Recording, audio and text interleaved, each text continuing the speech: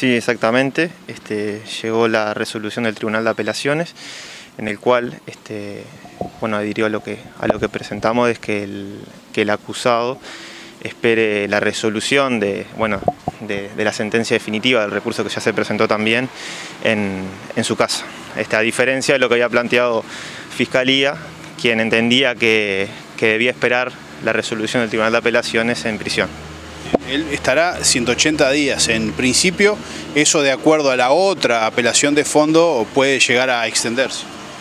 Exactamente, este, por 180 días el, acusado va a estar en, de prisión domiciliaria esperando este, la resolución, que bueno, ese plazo podría variar dependiendo de si llega una resolución eh, del Tribunal de Apelaciones que dispone la prisión efectiva este, del acusado, o si, se extiende por más de 180 días. Este, si la resolución viene después de los 180 días, posiblemente se prorrogue este, la estadía en, el domicilio. ¿Ya fue presentada esa otra apelación de fondo? Sí, en el día de ayer se presentó la apelación de la sentencia definitiva por nuestra parte. Este, ahora resta que se le dé traslado a Fiscalía a efectos de que, de que lo evacúe y ahí este, subirá para el Tribunal de Apelaciones.